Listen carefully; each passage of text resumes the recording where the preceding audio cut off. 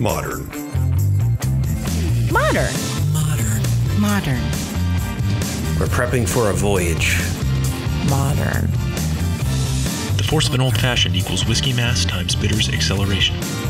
Why don't you make that a double? Modern bar cart. What's shaking, cocktail fans? Welcome to episode 111. That's right, triple ones of the Modern Bar Cart podcast. I'm your host, Modern Bar Cart CEO Eric Kozlik. Thanks for joining me for this mailbag episode where we answer some of the best spirits and cocktail related questions our listeners submit via email and social media. Remember, we're here for you. So, if at any point you're confused or you need help developing a cocktail formulation, for example, just send a quick email to podcast at modernbarcart.com, like all the folks in today's episode did, and we'll do our best to point you in the right direction. But before we roll up our sleeves and tackle this latest round of questions, let me give you this opportunity, as always, to make yourself a drink. This episode's featured cocktail is the Harvey Wallbanger. And this is a drink that emerged during the cocktail dark ages of the 1970s, an era that I really enjoyed reading about in Derek Brown's new cocktail book, Spirits, Sugar, Water, Bitters How the Cocktail Conquered the World. To make the Harvey Wallbanger, you'll need one and a half ounces of vodka, four ounces of orange juice, and three quarters of an ounce of Galliano, which is an ingredient I'll elaborate on in just a moment here. In a large rocks glass with ice, add your vodka and then your orange juice. Even though you're just building this drink instead of stirring it, the order is important here because if you add the vodka second, it's not going to mix as evenly because the more alcohol is in something, the more likely it is to float. So you put that alcohol on top of the orange juice and it's not going to mix. So, vodka first, then orange juice, and then finally float the Galliano on top and garnish with a nice orange slice. Couple really important things to note here. First, if this kind of sounds like a screwdriver to you, it basically is. And the Harvey Wallbanger is just one of many screwdriver variations that came crawling out of the woodwork during the cocktail dark ages. And second, we obviously need to talk about Galliano because it's not a cocktail ingredient that most people are familiar with, especially here in the US. According to Derek Brown in the book I just mentioned, quote, Galliano is one of those products that is indispensable in a bar, if only for three very specific reasons. First, its tall, slender bottle shape helps with the measurement of back bar shelving. Second, its size and thin, tapered neck makes it a handy weapon against would be assailants. And third, it can make a Harvey Wallbanger. End quote. In terms of its origins and flavor profile, Galliano is an Italian liqueur, but it's certainly not classified as an Amaro. Because it does contain a number of herbs, barks, and spices, I guess some folks out there might consider it a member of the Aperitivo family, but I'm not quite sure I'm one of those people. So definitely an herbal liqueur, maybe an aperitivo, definitely not an amaro. The two main flavor notes in Galliano are anise and vanilla, with other woodsy botanicals bobbing around in the background. Much like Strega, another Italian liqueur, it has a bright yellow color, which is going to be largely drowned out by the orange juice in the Harvey Wallbanger, but as you might imagine, it could lend a compelling color if you wanted to include it in an original cocktail. One last thing to note as Derek Brown alluded to, the bottle is hefty and tall.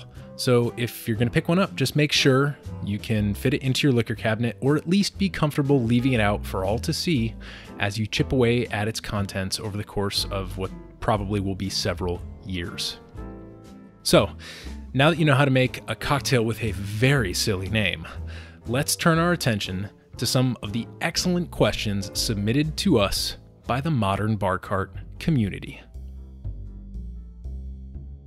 First up, we've got a question from Lori in North Carolina who writes Dear Eric, I listen to your podcast every week on my drive to work, and I've learned so much about making drinks, but I do have a question I hope you can answer about moonshine. When I was little, I thought that moonshine was illegal liquor that people sipped from mason jars or jugs but now I'm seeing a ton of moonshine at the liquor store. Did moonshine become legal at some point and I just didn't realize? Also, is any of it worth trying? Well, Lori, American moonshine is a fascinating topic, but before I jump into the history and the legality of making it, let me just say that 90% of what you're seeing when you look at the moonshine on your liquor store shelves is marketing. You'll notice that a lot of it comes in mason jars or bottles that are meant to look like vintage jugs, like the like the things that you were just describing. And this is all designed to evoke the romance and danger of moonshine that became legendary during Prohibition when folks were forced to distill in the woods illegally. Now, to answer your main question, let's rely on our old friend, the square is a rectangle metaphor. Try and stay with me here because this, this gets a little complicated. All illegally produced spirits are illegal. And here in the US, the generic term for illegally produced spirits is moonshine. However, not all moonshine is illegally produced.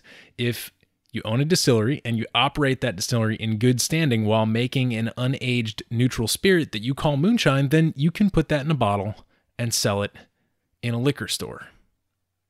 A lot of people are under the false impression that making moonshine is illegal simply because you're evading the government, who really wants to tax any alcohol that comes off a still. They really like that tax. But if that was the case, we wouldn't call it illegal distilling, we'd call it tax evasion. So there's got to be something more to the moonshine story. Now, you'll recall I mentioned prohibition a few moments ago. During that time, there were two main dangers that accompanied distilling in the woods. One is that you were using a direct fire still made up of mostly improvised components. And if you had any leaks where alcohol vapor could escape, then chances are you and anyone else in the vicinity would be consumed by a fiery explosion.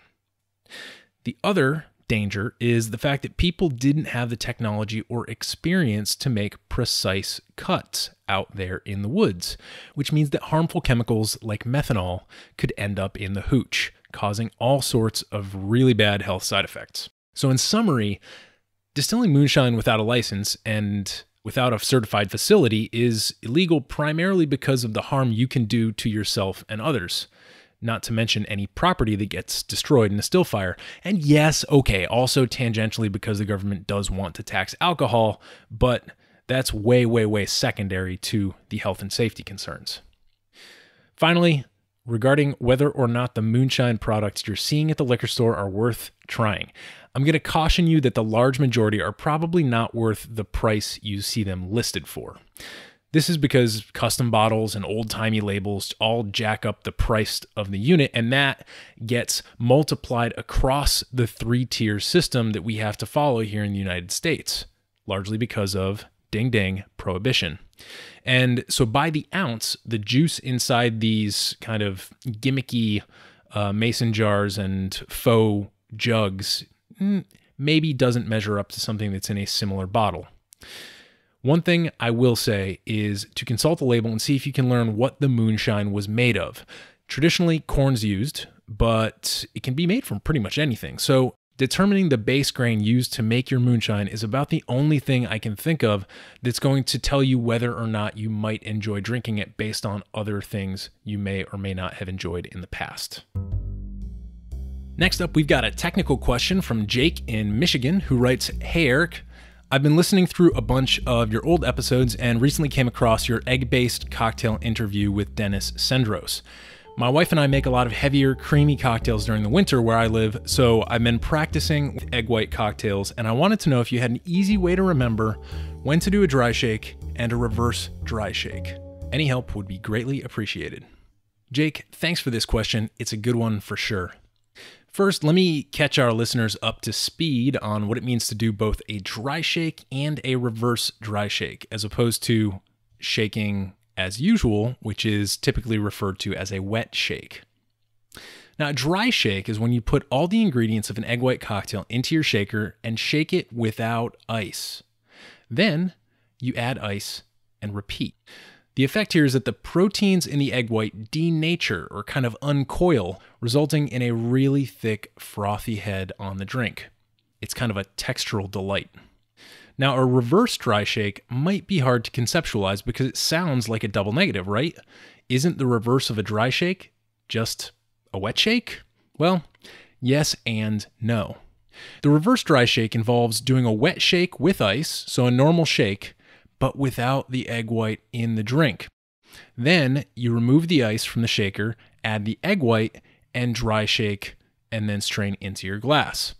When it comes to remembering when to use these two methods, I, I don't have a cute little mnemonic device, but I can tell you the flavor implications, which should allow you to walk through your drink recipes and decide when you'd like to add your egg white and whether or not you'd like the rest of the ingredients to be chilled when you do.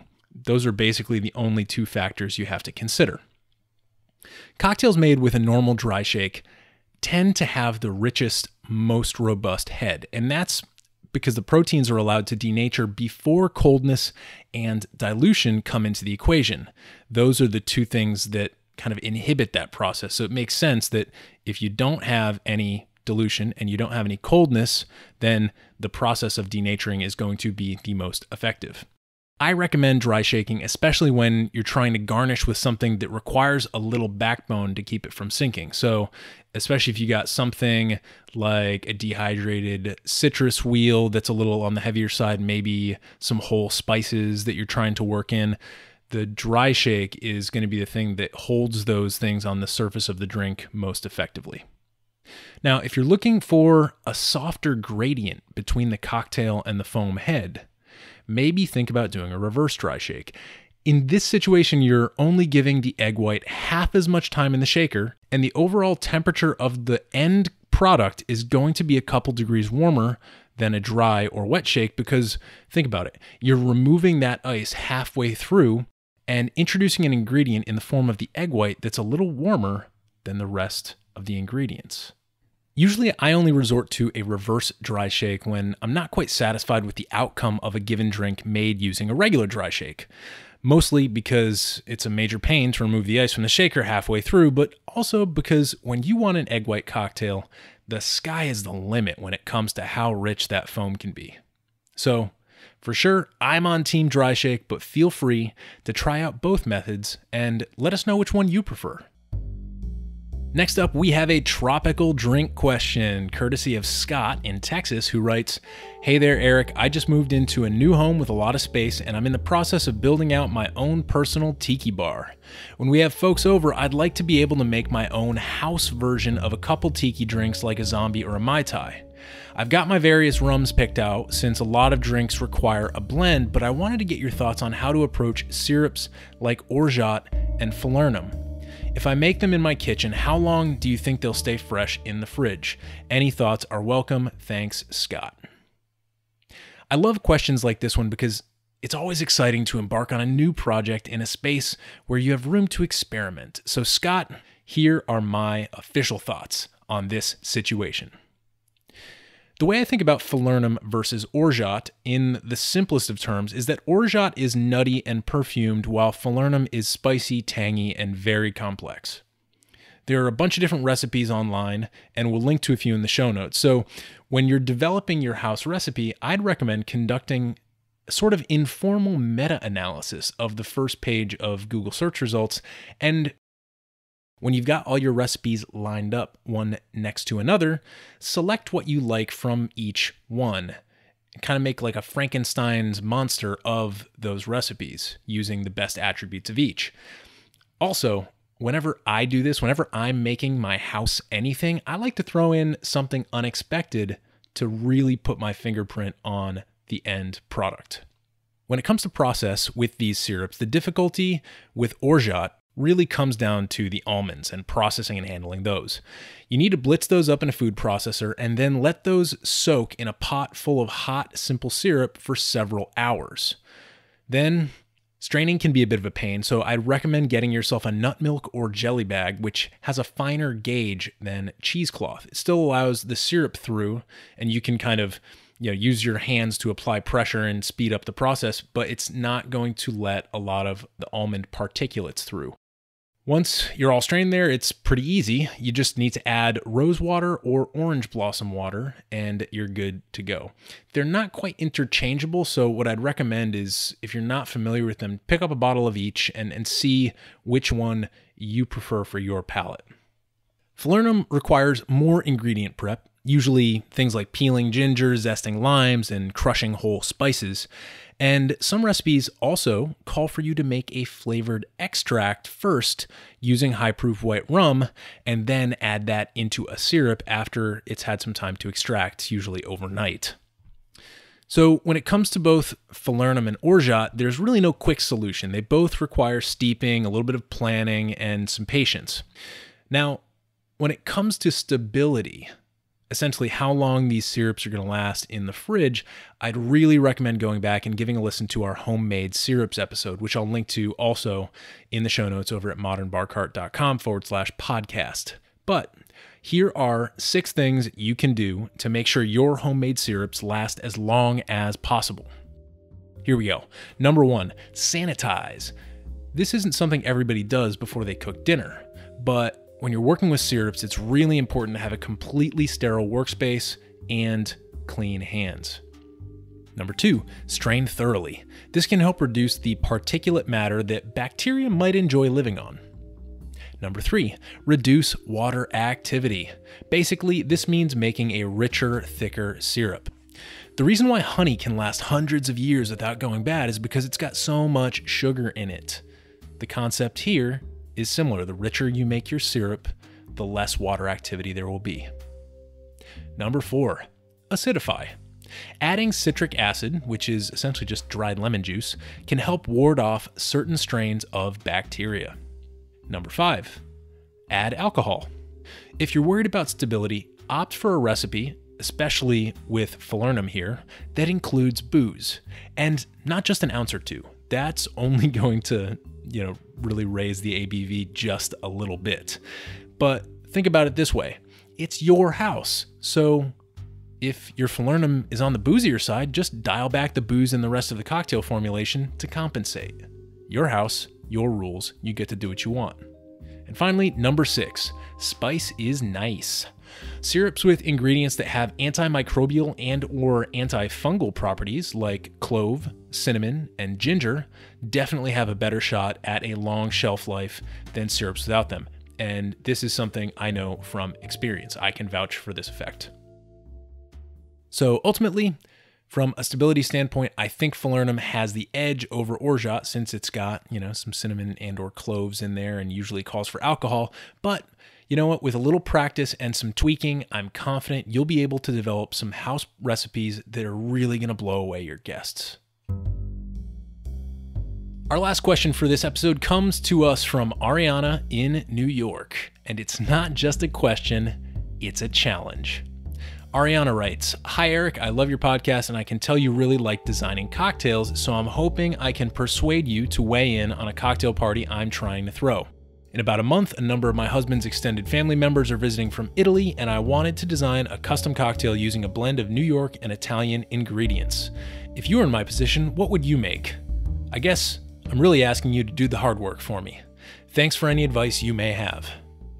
Ariana, lucky for you, I enjoy a good challenge, and also lucky for you, New York and Italian ingredients tend to go really well together.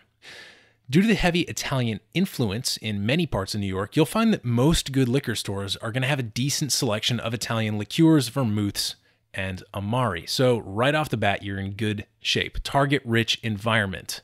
Now, when it comes to cocktails, you really want to ask yourself whether you'll be making the cocktail like to order, like individual cocktails for individual people, whether you're going to set up kind of a make your own bar format, or whether you're going to do a large format punch or pre bottled or pre batched cocktail. So, since I'm feeling good today, since I'm feeling generous here, I'll give you a drink option for each of those three use cases. If you have the time and space to shake each drink to order, I'd recommend featuring a riff on a New York sour. The basic formulation here is rye whiskey, lemon juice, simple syrup, egg white, and a red wine float.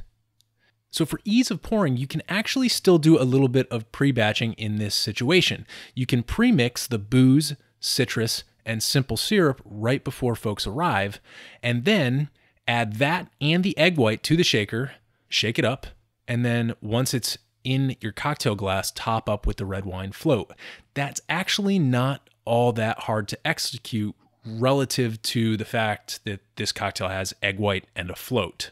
So it's it's a little bit on the trickier side to make, but if you do that pre-batching right before folks arrive, it's going to be fairly simple for you to measure out and execute quickly. And here's the kicker.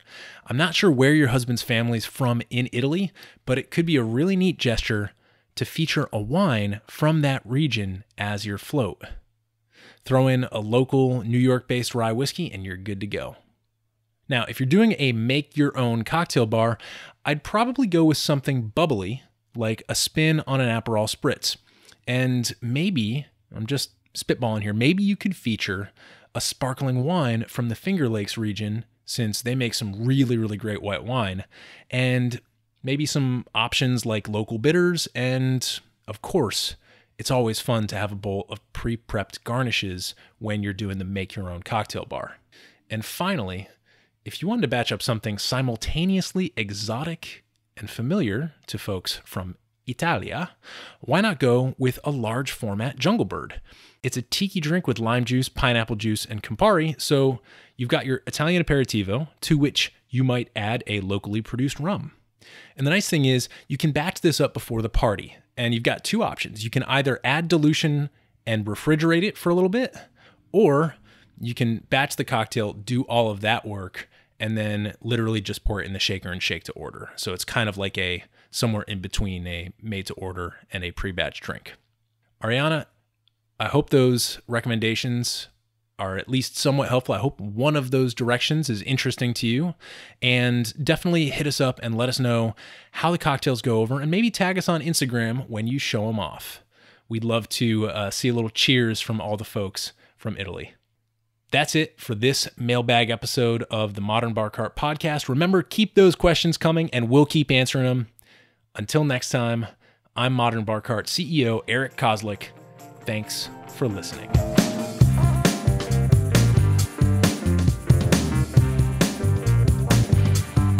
Hey, everybody, thanks for listening. If you enjoyed this episode, there's two big things you can do for us here at Modern Bar Cart. One would be to tell your friends and family if you think they'd enjoy listening to us talk about cocktails.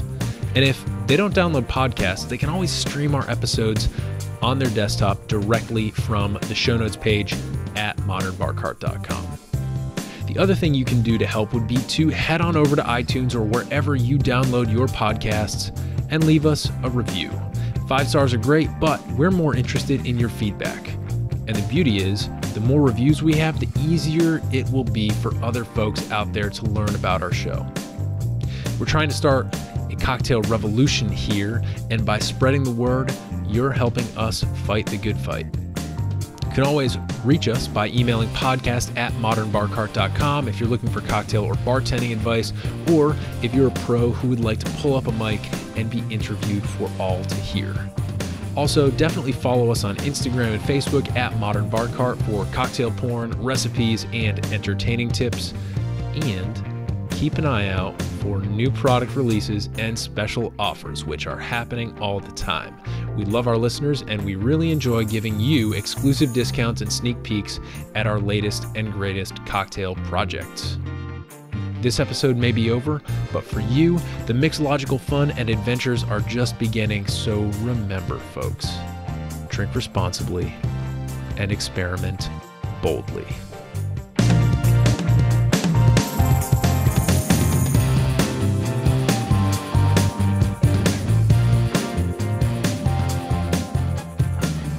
This episode was made possible with editing and production assistance by Samantha Reed, excellent spirits and cocktail questions from our listeners around the country, and a little bit of question answering magic by yours truly. This has been a Modern Bar Cart production, copyright 2019.